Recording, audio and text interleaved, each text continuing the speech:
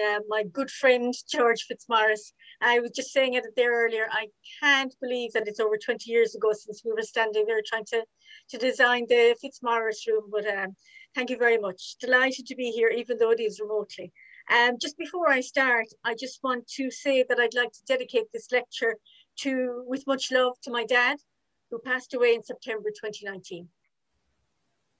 Radical rebel is how I describe George Fitzmaurice and his dissenting drama, which should have been have, should have long since set the theatre world on fire.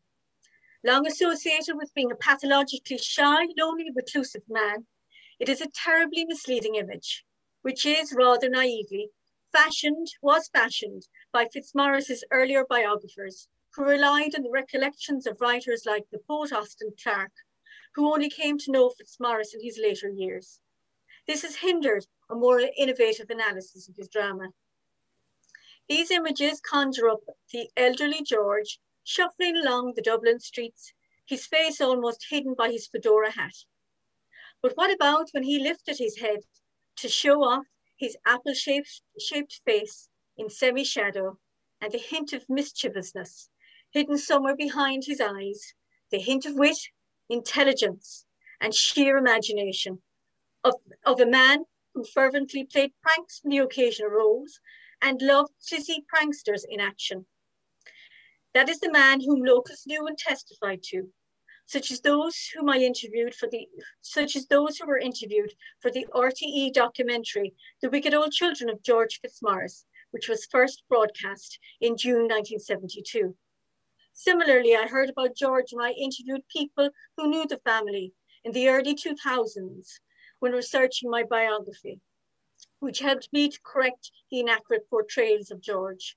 I spoke with people like Sister Labura Sheehy, Bridie O'Connor, Paddy Flynn and Margaret McElligott, among many others, and I have such great memories of chatting with them, and they were proud to have known the Fitzmaurices. Tonight, I hope to give you a flavour of why George, the author of some 17 plays, as listed on the slide, is a radical rebel playwright.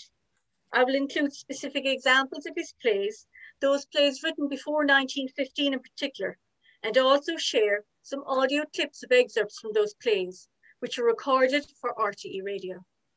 I'll take a look at my own work on my 2005 biography on George to dem and also demonstrate why he is a more modern playwright who looked to new inventions at the turn of the 20th century, such as moving pictures audiophones, live projections, and film, which other European playwrights were using at the time.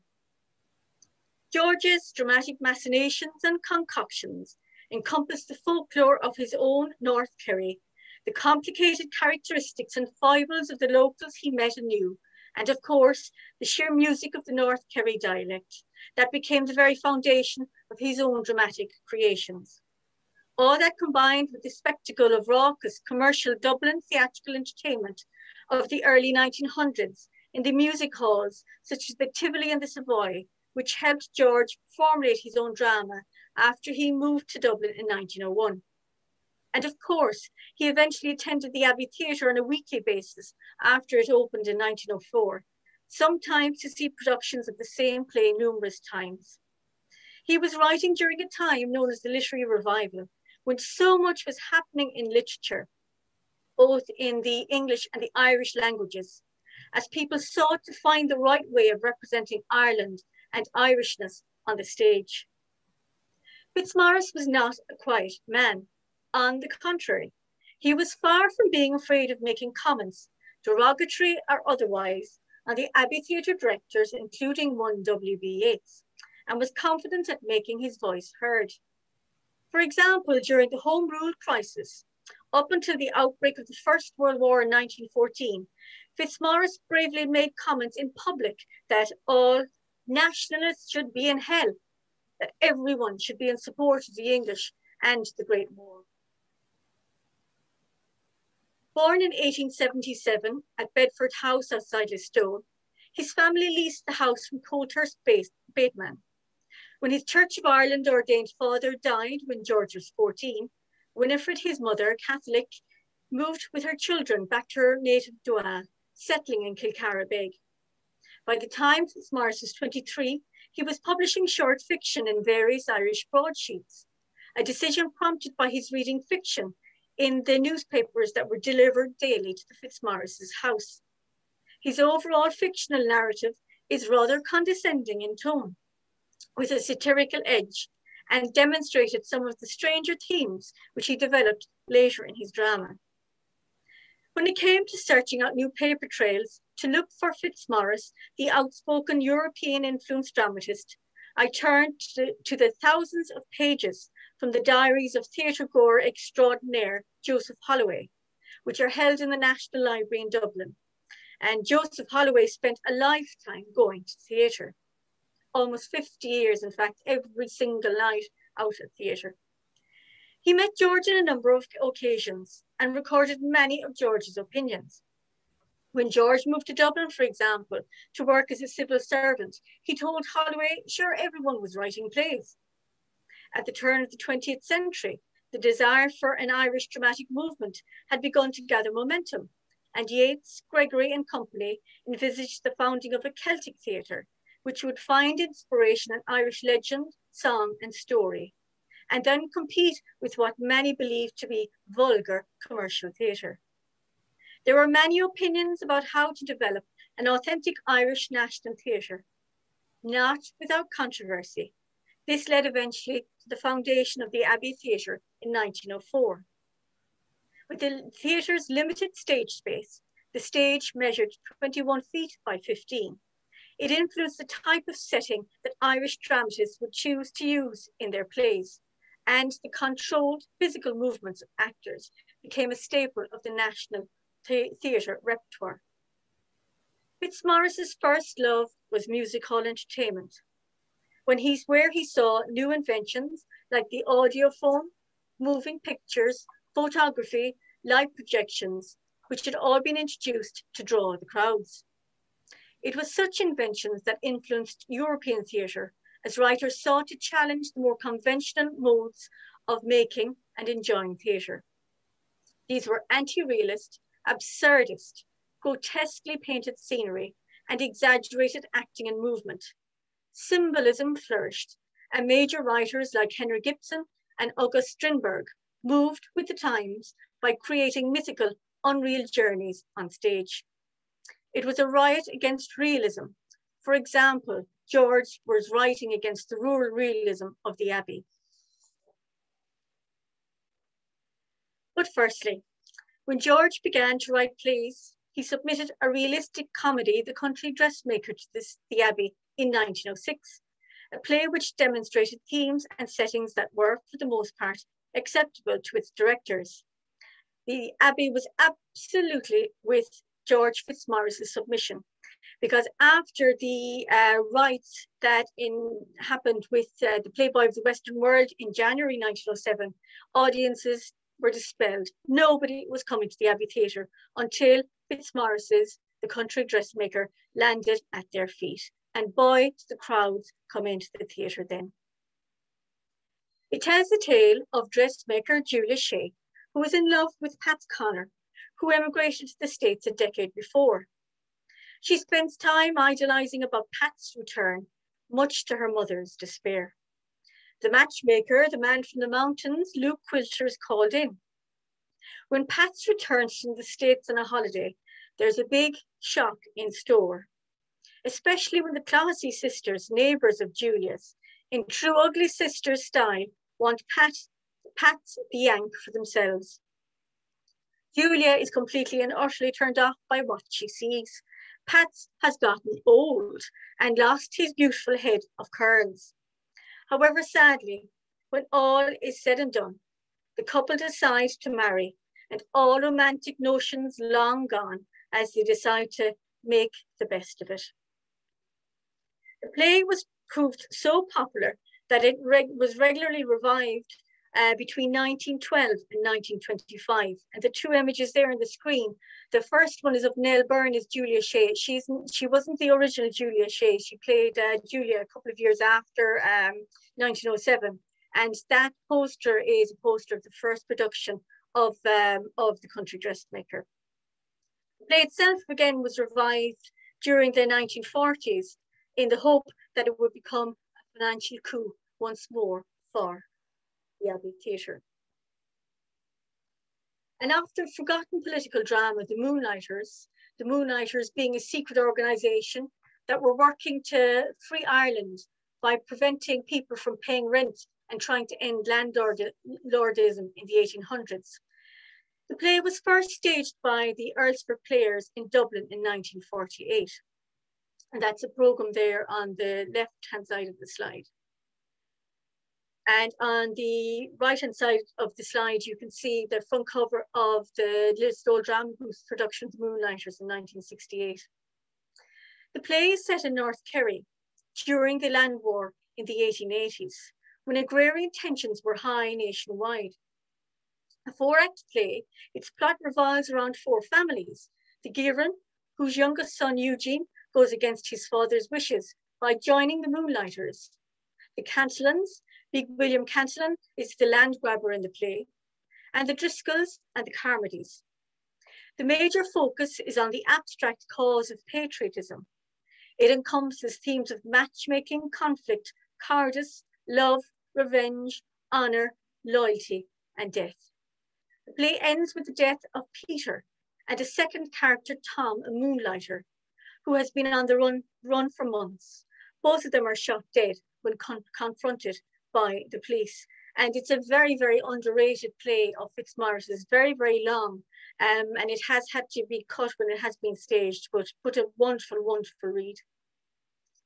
Joseph Holloway's diaries confirm that George avidly pursued its production between 1911 and 1914. Actually, he became very, very obsessed with the play. And um, I think he drive, he probably drove the likes of W. Yeats quite mad. He just kept knocking on the door to no avail. The Abbey did consider producing it, judging from a play script which survives in the Abbey archives. The larger than life character is Big William Cantillon, a land grabber and I'm just going to play a little excerpt of him talking about uh, looking for money to be able to buy some land. And it's from the RTE1 documentary um, that was aired in 1972. Listen to me. I must have that hundred pound. God above, if who knew the horrible fright came on me coming from town. At the first glimpse I got of the big bush on the height that showed the Lucy's farm sloping away to the east. Mort Pringle has taken his brattle in my throat. I bait the horse to a foam and sweat, and galloping like the devil for three miles, I never threw bridle till I reached the boreen. Out of the car I leapt and across the bone stitch. The eyes fled out of my head, looking to see if Pringle was walking the farm. Down with me to the river half mad. And Lord, when I saw the rich brown bank above the water and the soft green grass waving over the verge, I was fit to eat my fill of that lovely earth and that lovely grass, Malachi Cantillon. You'd be as well employed talking to that stone wall as to me. Be off, I'm telling you. I no brother at all, you gombeen hag. Look at the way I was screeching all night in my sleep, and I hadn't every nightmare Pringle had the land. My son John is as bad. At break of day, he leapt out in the middle of the floor. Take that land, father, said he, and don't be courted by no man. But I want a hundred pound. You'll not get a hundred farthings. I'll out in the field and roar. I'll start mother with the high clipper of nationality, Eugene. You outrageous villain! Lend it to him, Malachy. Lend him the hundred pounds. I not lend him the price of a box of matches. You'll be well secured. Here's the note.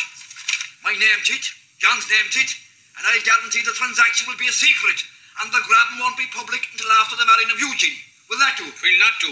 Is it forcing me out to go over the hills, craving the Gombeen Roach, and giving him the interest? Mightn't you as well have the big interest? How much interest? Big interest, great interest, as big as you asked it, Mantley Cantillon. The devil carry you. Here's the money.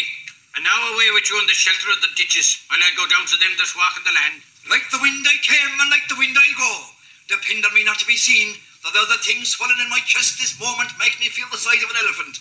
For Christ above, I'll have the Lucy's land. That's just wonderful, wonderful stuff.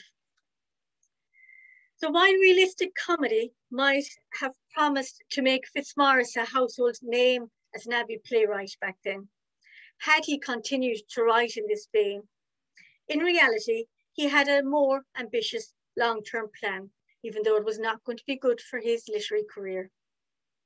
For Fitzmaurice was always radical, a rebel, an outsider, and in essence, he didn't wish to see plays like The Country Dressmaker become an Abbey staple. For Fitzmaurice, the Abbey epitomised everything he wished theatre and drama to riot against. He was not a conformist. He told Joseph Holloway that, and I quote, he cared not a fig whether the thing seemed real or not, so long as he was interested in the style it was set down on, on stage.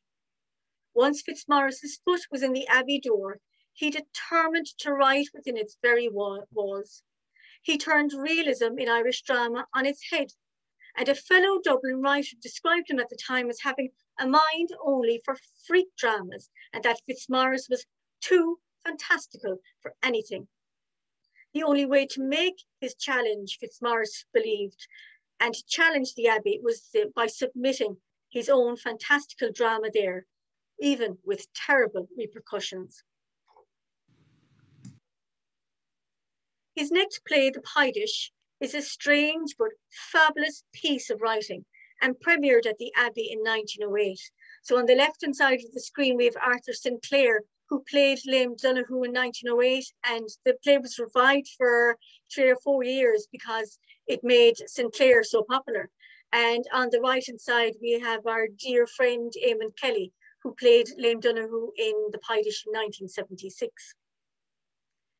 The play dramatises the story of Liam Donoghu, who is 80 years of age and whose lifelong obsession has been the completion of his play pie dish. The play mystified audiences in 1908 and they were unable to understand that this was not a realistic play, it wasn't a comedy, and it wasn't a tragedy, but a blend of all three. It was lambasted by critics as being sacrilegious, and one writer described it as leather. What horrified most people was the fact that Lame Donoghu declared that if God would not give him time to finish his pie dish before he died, then he would pray to the devil to give him more time to do so, which he does before collapsing and dying with the pie dish in smithereens. And this is just another um, short audio clip from the 1972 documentary. Oh, Father, try do something for him, and you haven't the power. Saint Joseph and all the saints in heaven pray for him. My poor man, give yourself up now to the good God and to his holy mother, and put all thoughts of this sinful world away from your heart entirely. It's my pie dish I'm thinking of, I'm telling you. My poor old man, what concern is it to you now, a miserable pie dish? Liam Donoghu, let me administer to you the last rites of our Holy Mother, the Church. Tisn't to be anointed, I will. Go from me. Oh, my pie dish my pie dish. Liam Donoghu, your hour has come. His hour has come. Oh, saints in heaven, pray for him before it's too late entirely. Was it the priest said my hour has come? It's black lies he's telling me. Tisn't my hour that has come to me. Good God above in heaven, tisn't without mercy you would be, and to take me out of the world like this. Oh, the pain that's through me. Good God, give me time. It's surely you'll give me time. I pray for time to finish my pie dish. Oh, isn't this a terrible pain entirely? God above, isn't it time I will get after all? Ah, oh, it is killing me, that pain is. Good God in heaven, it's time I must get. If it isn't time from God I'll get, maybe the devil will give me time. Let the devil himself give me time then. Let him give me time to finish my pie dish, and it's his I'll be forevermore, body and soul. There. There, it's in bits now. And what it was or what it wasn't, no one in the wide world will be a pin's point the wiser forevermore.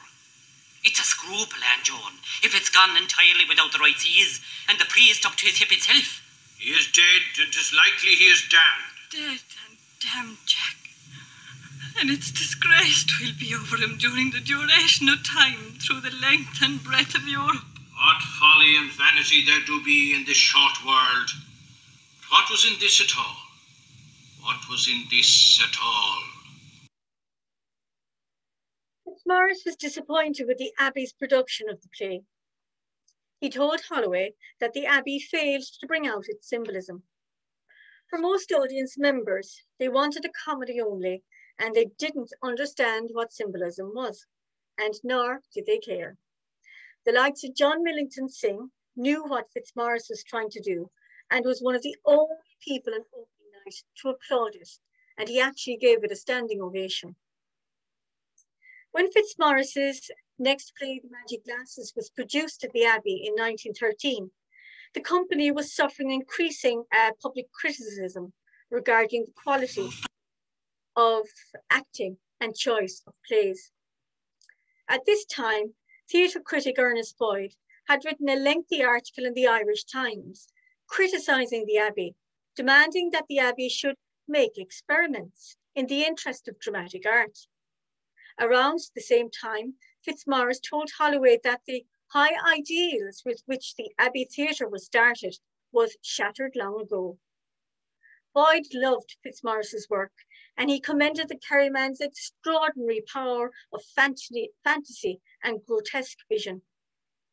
He was perhaps best position, positioned to interpret the magic glasses as Fitzmaurice's most daring play to date, for it was a deliberate parody of the Abbey.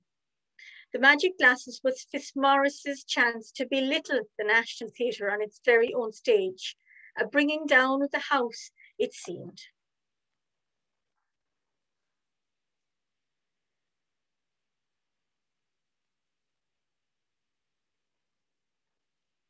One act play, sorry, the one act play, The Magic Glasses, is a play of madness and mania, which tells the story of one Jamie Shanahan and his incredible claims regarding the wonderful visions he sees in a set of coloured glasses that he purchased from a fair.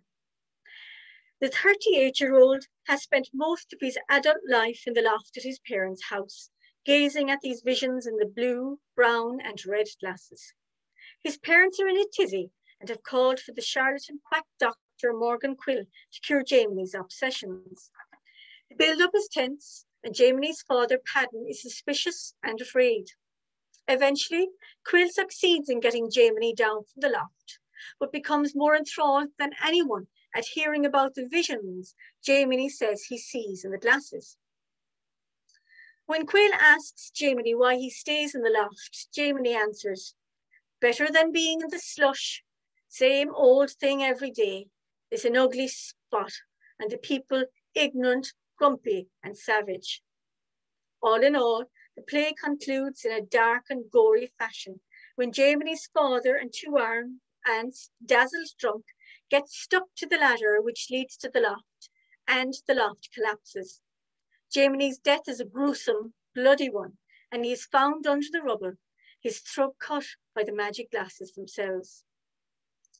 How in 1913, you might wonder, if the Abbey stage was so small, did it deal with a collapsing set? The answer is quite simple. They didn't. Instead, the ending was changed. Lennox Robinson, its director, decided that there would be no collapsing loft, no bloodied corpse, and no keening to close the play. Instead, one Jamie Shanahan remained alive taking the glasses from the loft and left the stage playing them as if they were musical instruments. And so Robinson's decision to alter the play's conclusion radically put a completely different complexion on the story. Fitzmaurice was furious and described the change as having defeated the purpose of his play by making it unmenacing. With the collapse of the loft, Fitzmaurice had intended this as bringing down the house, literally bringing down the Abbey, the Abbey house itself.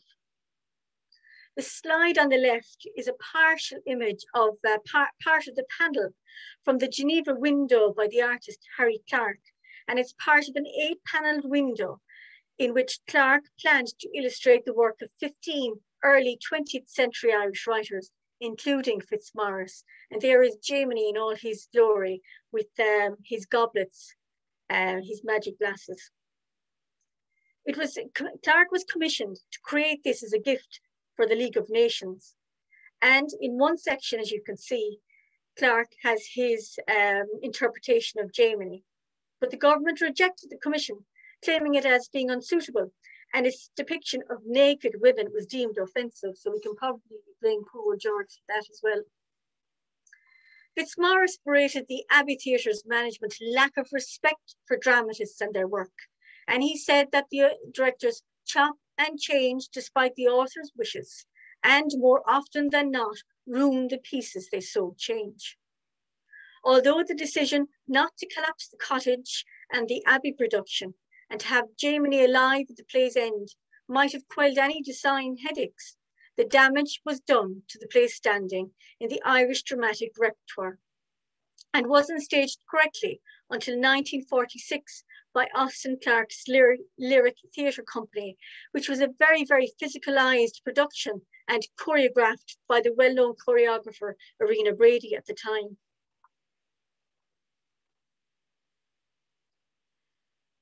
Fitzmaurice's play, which coincides with the rise of cinema as an art, would have been possible to imagine this play as a short film. Fitzmaurice would have seen his first moving pictures in the Tivoli Theatre.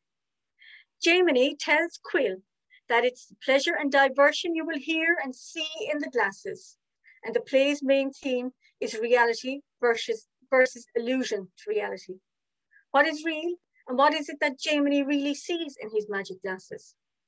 I like to imagine it as being as if Jaymony was above in the loft, watching moving pictures in his own virtual projection, projectionist's room. The photograph there, it's, uh, it's from um, the Irish Independent in 67 and it's the Abbey production of The Magic Glasses. I'm going to be talking about that in a minute, just after I play a little excerpt from the play. Uh, yes, I, I have it. Put the tongues in the fire and redden it. Holy Father, meaning. Put the tongues in the fire and redden it. Hey, down there. Is the tape drawn yet? Tis drawn and, and shall it drawn, Jaymony. Tis, tis not drawn, and tisn't wet itself. For it's after washing up the chain you are in the boiling water and putting cold water in the kettle. Don't be trying to blink me, for I heard the cover rattling, and tis the same with you every day, using the water and leaving me waiting for my tea. The selfishness of this world is a terror. But I'm warning you now, if the tea isn't drawn the minute I hop down out of this, there isn't a mug in the dresser I won't smash, and I'll break the window, and so every devil around the house will make it a sorry day to you. You got into the habit of reneging me in the tea. As peevish as a cat always when coming out of that top loft, Mr. Quill. Here now, you vagabond. Isn't it on the table itself? And listen to me putting the sugar into it and stirring the sugar in the cup. And the white bread and jam. And the white bread and the jam. There now, isn't it quick enough for you, my walking gentleman upstairs? Will do, and 'tis to be hoped you'll be as regular for the future. 'Twould be a great boon to me entirely. That jam is damn nice, mother dear. Down on your knees, you, you haunted thing, you. Keep looking at me, or I'll send this red hot tongues fizzling down into your beastly guts. Sacramento Dominus vobiscum mea culpa, mea maximum culpa, Kyrie excelsior. I abjure thee by these words. Tell me what you are and what you aren't. Are you a Catholic? I am, sir. Arrow faith, very good. And now, my bucko, if you are, maybe you'll say what I have to say after me. In the name of the Father, the name of the Father, in the name of the Son, in the name of the Son, in the name of the Holy Ghost. Aha. in the name of the Holy Ghost. Uh, come along here. You're some sort of a Christian anyway. You see,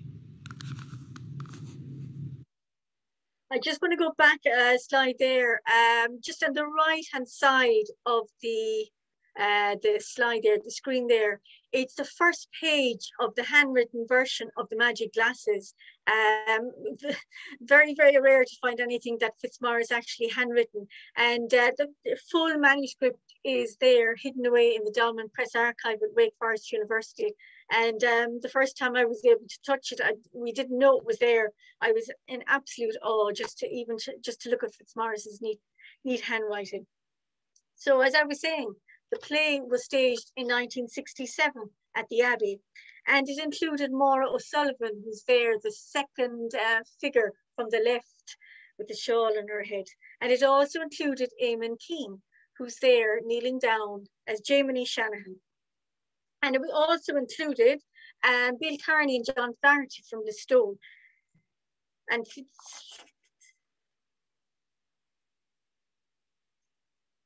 once again, the Abbey didn't get to grips with the ending of this play either. They changed it. And Jamie walked off the stage like he did in Robinson's version in 19, um, 1913. And again, he walks off the stage where he's playing the magic glasses. So it's actually never, ever, ever being produced correctly on the professional stage. It's been the amateur community that have ensured it's been um, produced correctly. And the last production of it was by Docus uh, Drama Group in Killarney, and uh, they did a wonderful, wonderful production of it. Fitzmaurice's enthusiasm for this ongoing technological uh, development and how best it might suit his drama is also supported by his reference to television in his infamous note which he wrote later in life. When I discovered the original note in the Dolmen Press archive at Wake Forest University, and there it is on the screen, its whereabouts had been unknown for many years. But I realized how the scrawled message readily demonstrates Fitzmaurice's clarity of vision and lifelong interest in modern technological advances. It reads, author is prepared to sell outright all rights to 14 plays dealing intimately with life in the Irish countryside. Most have been either produced or published, suitable to which to build musical, television, etc., passed to anyone interested. Despite the note's general use to epitomize the author's pathetic and lonely demise, it was found after his death it demonstrates his interest in future adaptations of his plays for television, which was one of the most recent technological inventions to have captured people's imaginations and certainly captured George in the 60s. In the, in the 1967 production of The Magic Glasses, it was performed as part of a double bill alongside The King of the Barna Men, which is a full-length play, um, just madcap play, and when it played in 67 on the Abbey stage, it was absolutely loved by critics. But how to describe the play short in a very, very short space of time is difficult.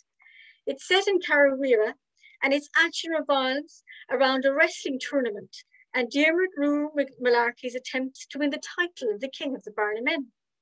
He has been the undisputed champion for seven years, but believes this is because he was aided by the Hag of Foydarrigs magic ointment blue. He wants a chance to win the hand of one of the princesses. And the play is an incredible satire of many things, and the characters are outrageous and very Beckettian according to some. We keep in mind that it may be Fitzmaurice who influenced Beckett and not the other way around. Described by Seamus Kelly in 1967 as so unmistakably modern that one has to keep reminding oneself that it was written approximately half a century ago. It was in fact written earlier as a superb piece of physicality and it starred Eamon Keane as Aeneas Canty, one of uh, Fitzmaurice's most incredible characterizations. The play had its Kerry premiere in 2013 by the Sliabh Luachra Drama Group to commemorate the 50th anniversary of Fitzmaurice's death. And I know Jimmy's Jimmy's in the audience tonight, he'll remember that as just um, a piece from the Kerryman and some of our special guests and just the front of the, the commemorative program as well there on the screen. The Dandy Dolls is probably one of Fitzmaurice's best known plays. A drama which appears to be set somewhere between the twilight worlds of the human and the supernatural its general plotline revolves around the tale of dollmaker Roger Carmody, whose life is dominated by two obsessions. One is making the perfect dandy doll, and the other is eating geese bones and all. There is demand for these dolls. Firstly, the ghostly grey man who comes to visit, and the hag's son who also comes to rob each new doll's squeaky squeak or windpipe, which forces uh, Roger into a feeding frenzy of priest geese any time this happens. It's an absolute riot of colour and balletic in sequence, despite its unfavourable treatment of the priest character, a mock baptism of the doll, and an adverse image of the Irish peasants' neglect of family. In 1912, when Fitzmaurice submitted the play, it was rejected by Yeats and staged only once during Fitzmaurice's lifetime by the Lyric Theatre Company in 1945. The Abbey Theatre finally produced it in 1969, six years after the playwright's death. It is not difficult to imagine Yeats's reasons for not liking the play. It's rather coarse in language and action. Its second certainly didn't help, and he knew audiences would hate the idea of its mockery of the clergy enough and a sacrilegious act of baptizing an inanimate toy doll. But when the Dandy Dolls is analysed in terms of the development of its more fantastic imagery and characters, as well as its highly physicalized action, Fitzmaurice was once more poking fun at the Abbey. He deliberately places a doll as being central to the play's action, nailed to the table, like her own stage. And when the character the hag's son rips out her windpipe quite literally, it's the physical action and not words that become important to the play. I'm just going to play you a very, very short um, piece again from that radio documentary. And this is when the grey man, who's here, this image here at the top is a photograph of the Grey Man in 1969, the 1969 Abbey production. And down here, it's the 2004 um, production of the Magic for, of the Dandy Dolls, which I'll be speaking about in a minute. And surely you're a droll fellow, merry man, so gay. Was that a snarl from a dog? That snarl was from himself out in the linny, the chronic and he up to his ears this minute in making a brand new dandy doll. For 'tis worse than a surly mastiff he is the time he does be manufacturing. And if a warrant rubbed a hair to him, he'd make a ferocious grin at you that wouldn't shame the old boy himself that's below in the pit of hell. Roger! Roger! Here he comes, hopping, and Lord, the countenance, of the devil, with the temper flying out of his two eyes. In the name of God, is it in the other world I was with yourself and your dinner calls? The devil's cured you for a boglark, what a burst of music comes from you in the heel of the day, and people raising their heads and gaping at you from far and near. The thanked my doll was finished, for there's a rasp in your cracked old windpipe that would frighten the horse from its oats, and many a time that same old screamer was the means of my making a faulty doll. Oh, now it's me has done the harm, is it? But a time your old grandmother was the obstacle, not alluding to the day you aimed a prey at her and hit her on that woeful polypus she had upon her nose. And what about Peg, and the time you used to pull her by the hair of her head all round the kitchen floor?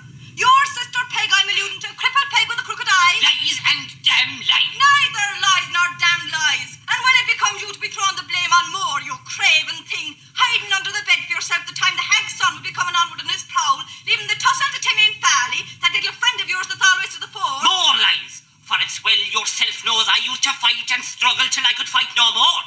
Timmy, Maria, Timeen is willing surely, but Timeen is devilish weak. Oh, glory, after all he has done for you, the graceful nice garçon.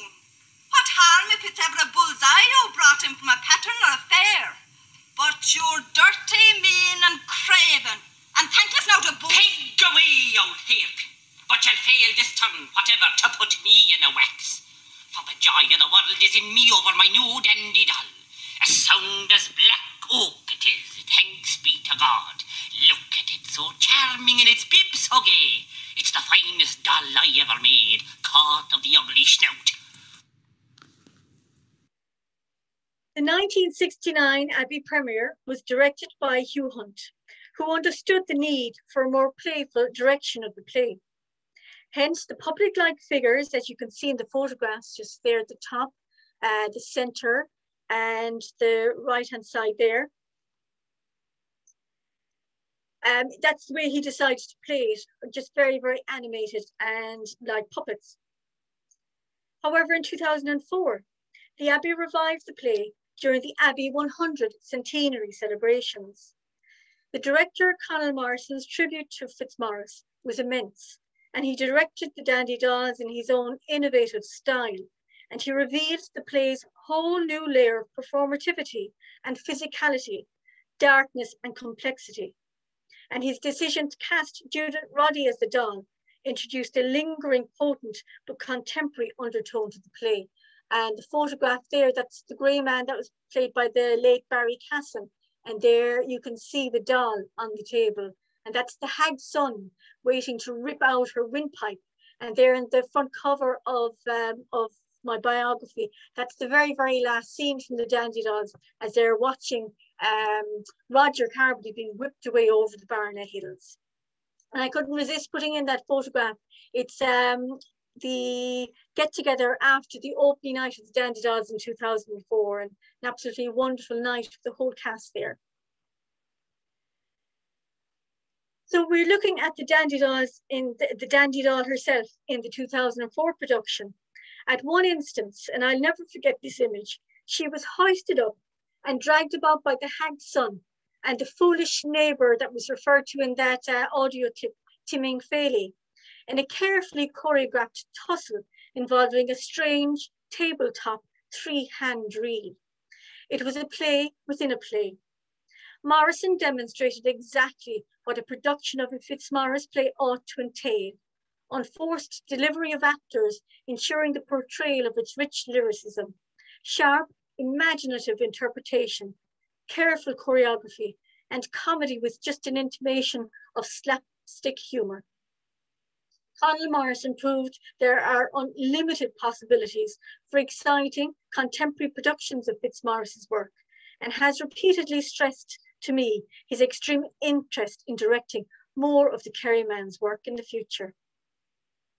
In terms of technology, Morrison insisted on the character's very authenticity as his specific, as his specific directorial agenda revealed the play's whole new layer of performativity and the drama's playful physicality.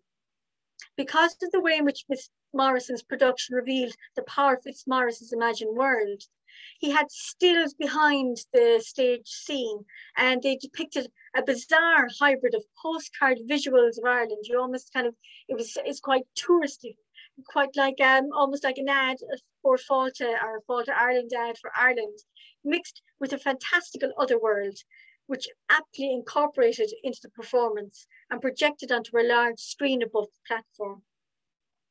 Reviewing the Dandy Dolls in terms of the Abbey centenary in 2004, and there had been a lot of complaints about it, Fintan O'Toole insisted that the National Theatre had to revive an old play like George Fitzmaurice's in order to rescue the centenary celebrations from an overall blandness.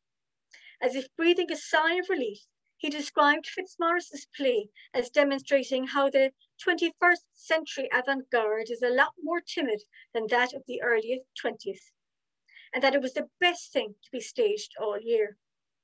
If one believed in the spirits of previously disgruntled, disgruntled playwrights like George himself, haunting the hallowed ground of the National Theatre foyer, such a review might have seemed poetic justice indeed. These Abbey productions in 1967 and 1969 were, of course, posthumous, Fitzmaurice having just died in 1963. In 1976, two further revivals, a double bill again, were staged by the Abbey. The first I've already spoken about, Pie-Dish, um, and the second was a play not terribly well known, a full-length play, The Enchanted Land, which is set dramatically in two different worlds. An underwater chamber tells the story, it's set in an underwater chamber for the first half, and it tells the story of Esna, a commoner, who was exiled to the underwater world because she was in love with the King of Ireland's son. As she has completed her stay, she is to go back to Ireland. However, Elaine, the 12-toed mermaid, wants to be Queen of Ireland. Elaine, Elaine attempts to replace Esna on Earth and become Queen of Ireland. It's quite a madcap play. With no history of physical theatre in Ireland during the early years of the 20th century, Fitzmaurice was aware of the frustration of Irish theatres overriding literary tradition. And when Christopher Ball was um, was designing the set and the costumes for the 76 production of the uh, Enchanted Land. He certainly had that in mind. And you can just see they're not terribly good images there on the slide, but these are just some of his initial drafts and sketches for various characters and costuming. And the bottom left-hand corner, that is the um, second um, part of the play set in the overworld set in Ireland itself. And again, it's, it's almost like Alice in Wonderland type um, type set. Dialogue was the primary means of communication in early Irish 20th century um, theatre, and in particular by the Abbey. And a conventionally established language of physical theatre was not available at this time, when the Kerry writer was at his most active. This, of course, was to his detriment. No more of Fitzmaurice's plays have been included in the Abbey Theatre repertoire since 2004 save for a rehearsed reading of the Dandy Dolls in September 2009, which was part of a weekend program to celebrate the playwright Brian Friel's 80th birthday. And I, am sorry, I couldn't resist putting this slide in. Having been asked by the Abbey Theatre to choose some of his favourite plays, which would feature as a series of rehearsed readings, Friel decided upon two Fitzmaurice plays, The Dandy Dolls and The Magic Glasses. In the end, he was limited and could choose only one of the Fitzmaurice's plays, and he chose The Dandy Dolls. And it was an incredible rehearsed reading. Um, and I was sitting beside uh, my friend and former supervisor, Ger FitzGibbon, and then Friel was beside him, and we were just we were just in cloud nine, the two of us. So I got a chance to talk to Brian after after the, the rehearsed reading, and we were there in the Peacock Theatre, luckily I had a photograph taken with him and I said, I'm going to ask him now what he really thinks the Dandy Dolls is all about. It's, it's going to be profound. And um, he just looked at me and in a roguish manner, he made a two word reply. He said the Dandy Dolls was about kinky sex.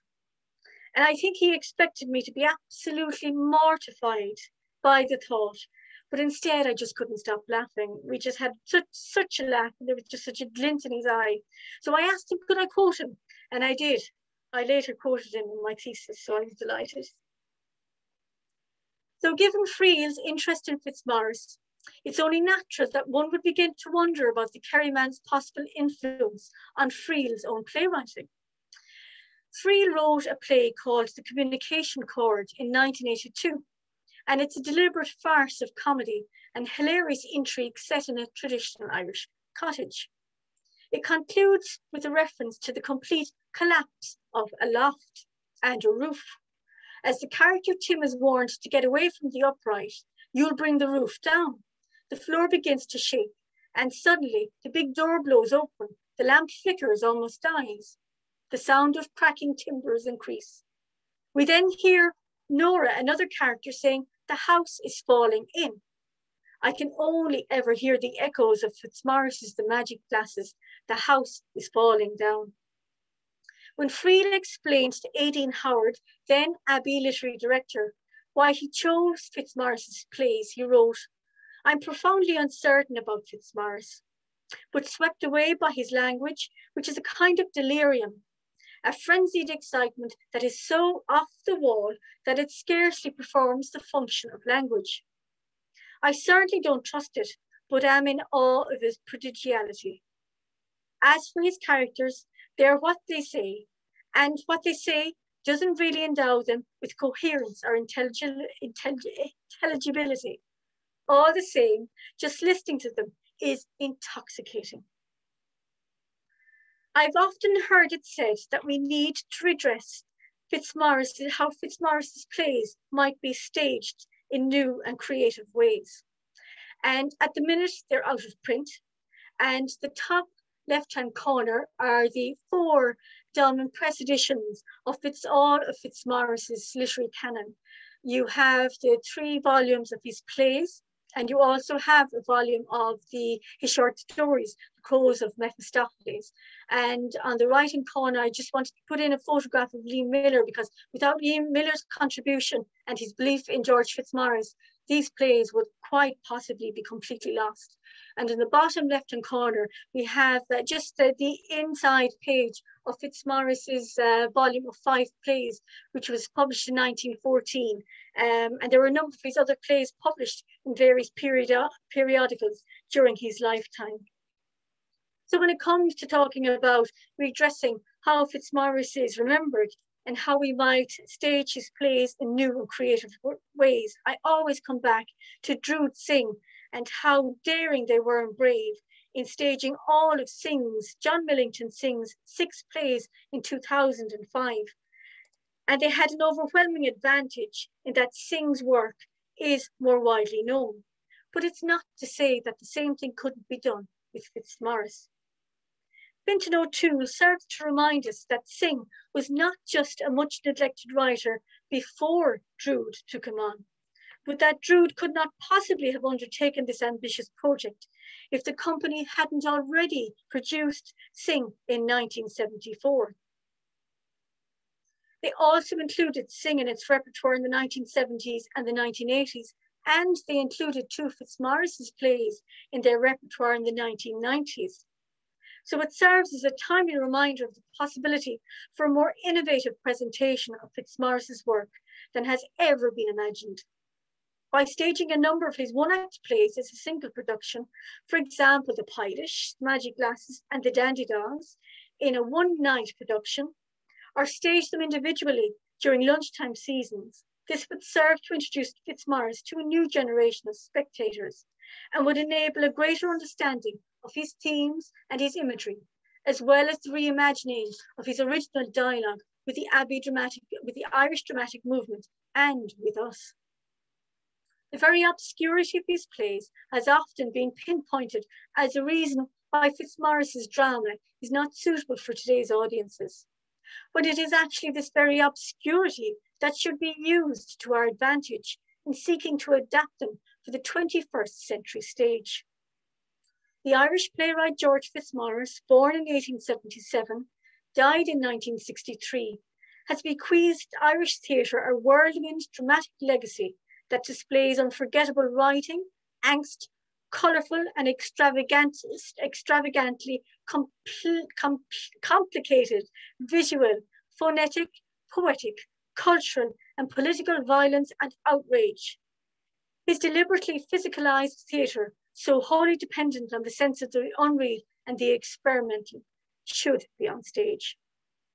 His neighbours and his friends in North Kerry knew what was in Fitzmaurice's heart.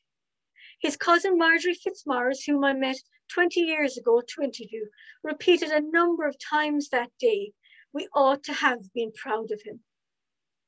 One of the most special occasions ever during my lengthy research of Fitzmaurice, and there have been many, was my first ever meeting with Eamon Kelly, who was a huge admirer of Fitzmaurice and whose voice we heard tonight as Quill in the Magic Glasses. I just want to finish by reading the last paragraph from my biography on Fitzmaurice, and it's just a description of um, the night that I. I met um, I met Eamon a very, very windy, windy, wet evening in January in Dublin. On a wet January evening in 2000, I met with Eamon Kelly at the Abbey Theatre.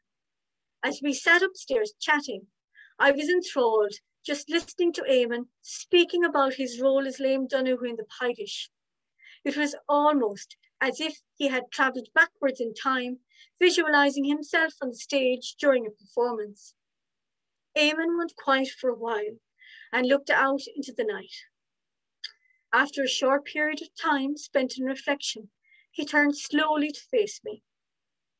Looking to me directly with soft, sincere eyes, he said very, very gently, You know, he was wild in his own way. And you know what? I think George would just as quietly agree. Thank you so much for listening.